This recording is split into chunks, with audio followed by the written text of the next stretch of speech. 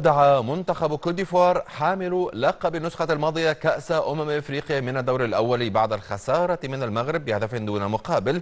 في المباراة التي جمعت بينهما في أويم في الجولة الثالثة والأخيرة من منافسة المجموعة الثالثة وذلك في البطولة المقامة حاليا في الجابون.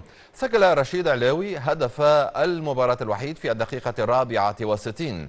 بهذه النتيجة توقف رصيد كوت ديفوار عند نقطتين في المركز الثالث بينما احتلت المغرب وصافة المجموعة بست نقاط خلف الكونغو الديمقراطية المتصدرة ليتأهل أسود الأطلسي لأول مرة منذ 13 عاما إلى دور الثمانية.